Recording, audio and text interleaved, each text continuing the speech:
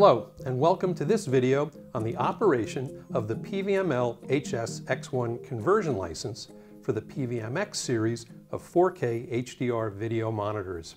My name is Andy Munitz of Sony's Professional Monitor Product Management Team. And I am Hugo Gaglioni, Sony's Chief Technology Officer for Broadcast Products. With the advent of high dynamic range for use in ultra-high definition formats, there is a demand for simultaneous creation of HDR and SDR masters from a single production workflow operating in HDR. This requirement also gives rise to different criteria for adjusting the live production cameras based on shading either the HDR signal or the converted SDR signal. Therefore, this HDR production workflow requires not only conversion devices for the creation of separate HDR and SDR production elements, but also requires the use of monitoring devices with the necessary EOTFs, or electro-optical transfer functions, for display of the various HDR and SDR signals. In this video, we will examine an optional conversion license, the PVML HS-X1, for use with our PVMX series of 4K HDR monitors, which implements this HDR to SDR conversion techniques. The use of this conversion license activates a unique HDR-SDR conversion engine with algorithms originally designed for our flagship broadcast converter, the HDRC 4000. These algorithms are now implemented in FPGA form inside these monitors. In addition to HDR-SDR conversion, the license will enable the following functions. 4K to HD down conversion, 1080p to 1080i conversion, quad split 4K signal into a single cable 12G format, and a process output via the enhanced monitor output, which can include the converted or baked-in LUT version of your program material.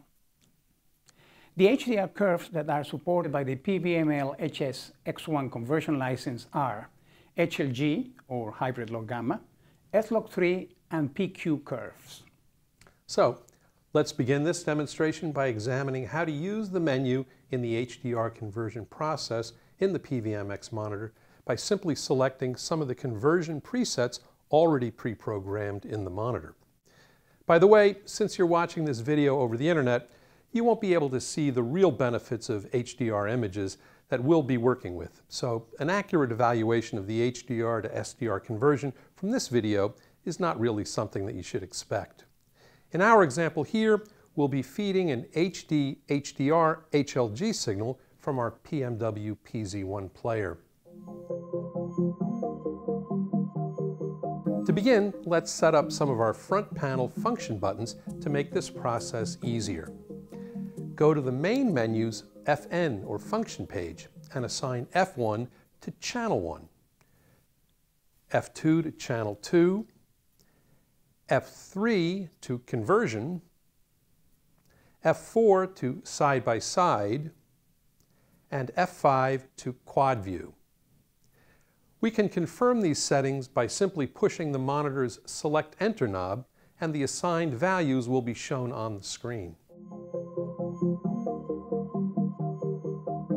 Next, select from the User Preset Setting menu the Channel Setting menu and go to channel number one. Turn the selection knob left to get to the second page and copy from channel 6, HD HLG 3G, and turn the knob right back to the first page to confirm the HD HLG 3G setting. Notice that on page 2 of channel 1's channel setting page, there's a setting for conversion preset that has 10 pre-configured choices. Nine of them are for HLG signals, and number 10 is for an S-Log3 input. These are pre-configured in this manner because the HLG and S-Log3 are the most used HDR curves for live production applications, but they can all be reconfigured as desired. For this demonstration, set this conversion preset to preset 3. For more cinema-related applications, we can select any one of these presets and change the value of the EOTF in the channel setting from HLG or S-Log3 to PQ in order to process an HDR PQ conversion to SDR. When looking at the final SDR converted signal, Scrolling through these presets will change the look of the conversion. If you want to further modify any of these presets, though, you must go to the actual conversion preset menu, update, and then store the new settings. Values for each of these presets can be found in the ops manual, by the way. Some of the common settings in the conversion preset menu are included in the conversion mode, SR Air off or on, which means scene referred artistic intent rendering, and display referred. When SR Air on is selected, this enables a choice of HDR looks, where you can adjust from mild to live for a punchier look. Natural appears softer than mild. These selections will provide different levels of saturation to the resulting SDR signal. Note, by the way, that there are a total of four pages in this conversion preset menu. So let's continue on for the conversion setup. Go to the Multi-View menu and select the Side-by-Side -side menu and set Screen A and Screen B both to Channel 1. In our case, they should both say Input Select 2K SDI Input 1. Press function F1 to look at the incoming HLG signal. Then press F3, Conversion, to flip between the HDR and SDR versions. Press F4 if you want to see both HDR and SDR versions in side-by-side -side mode. Note, if you hit F3 at this point, you will see the left side of the screen change between the original HDR input and the converted SDR image. To use the Enhanced Monitor Out, or EMO, connect it to another monitor. Set up that monitor for an SDR BT709 input with its corresponding color gamut, BT709, and transfer matrix, BT709, and when the conversion function is turned on in the main monitor, it will display the SDR converted image on that second monitor. Note though, if the conversion function is set to off, the second monitor will show the HDR HLG signal but placed in an SDR 709 container and will not look correct. So far, we've been doing HD HDR HLG to HD SDR conversion. However, you can also execute a 4K HLG to 4K SDR conversion and also use the enhanced monitor output to send this converted signal via 12G over to another monitor if it is also set to view 4K SDR 12G. Also, we've been only talking about live production and conversion from HLG or S-Log3 into SDR 709. As mentioned earlier, but worth repeating, for a different class of applications, such as on-set or movie production, one can set the EOTF for PQ ST2084 in the channel setting menu, corresponding to a PQ input source, and to show its conversion to SDR 709. To do this, same as before, set up your input EOTF in channel 1 to SMPTE ST2084. Well, that's it for the PVMX's built-in conversion engine setup. Now let's have a look at how to properly set up the PVMX monitor for a simple LUT-based conversion of your image. You can apply the LUT data to your signal input to display on the screen, or you can output the rendered signal as an SDI signal from the Enhanced Monitor Out connector with the optional PVML HSX1, SCX1 or TDX1 licenses. In our case, in this demonstration, we will again be working from an HD HLG HDR signal. Understand, by the way, that the PVMX monitor does not allow for taking a signal in and then using its looped through output to feed into another input. So let's set things up. First, it's necessary to load a particular LUT into the monitor you have 30 distinct memories for storing LUTs, and they are loaded into the monitor through the front panel USB port. Of course, there are some simple syntax rules to follow for naming and loading of these LUTs, so please refer to the operations manual for this information. For our example here, we are using a LUT developed by Sony, which is one among a family of LUTs we call SR Live LUTs, which have the added benefit of providing the user with different looks, live, natural, or mild, in the converted image. Once the LUT is loaded onto a FAT32 formatted USB thumb drive and inserted into the USB connector on the front of the monitor, go to the User Preset Setting menu and then to the User LUT menu. There you can save any of your stored LUTs into any of the 30 available LUT memories in the monitor. Now, for setting up the monitor.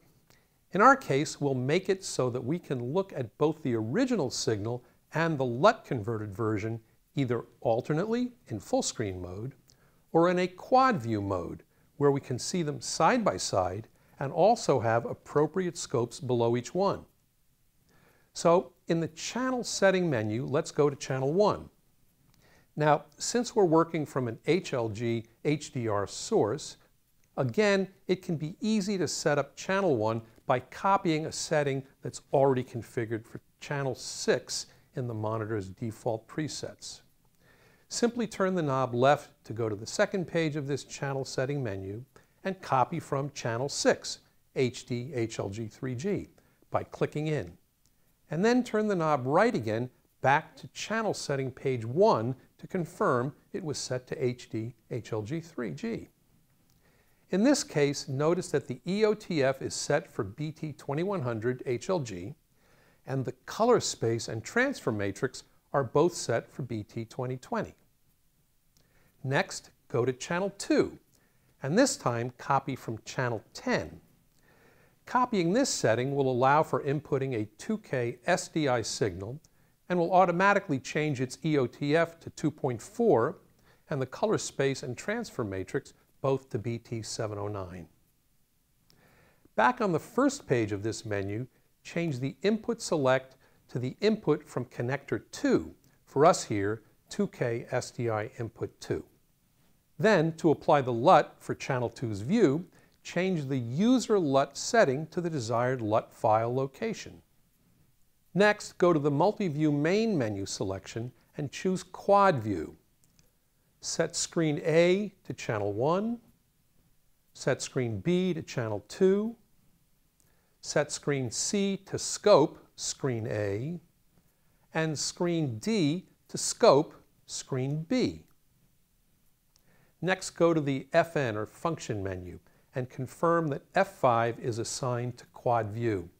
If not already assigned, it's a good idea to also assign one of the function buttons to WFM or waveform monitor. For us here, go to the monitoring tool menu, then to the scopes menu, and turn on all three choices of WFM, vector scope, and color gamut scope.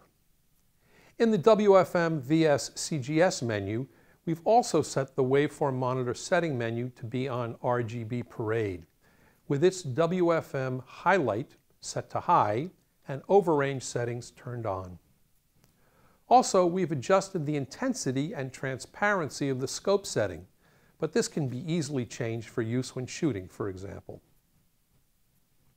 Back in the User Preset Setting menu, go to the Advanced Preset menu, and in the User LUT range, change Auto to Off, Input to No Scaling, and Output to No Scaling Limited. When playing the file by selecting F1, you can see the original view of the HLG HDR clip and by pressing F2, you'll be able to see the LUT converted image. To see both images at the same time, turn on the Quad View F5 button. Turning on your Scopes function button will also let you see the appropriate assigned scopes below each version of your image. Well, that's it for the LUT conversion view. Note, by the way, that LUT conversion is static. This is true for all 3D LUTs, and as such, they do not change if the picture changes from light to dark during shooting, for example.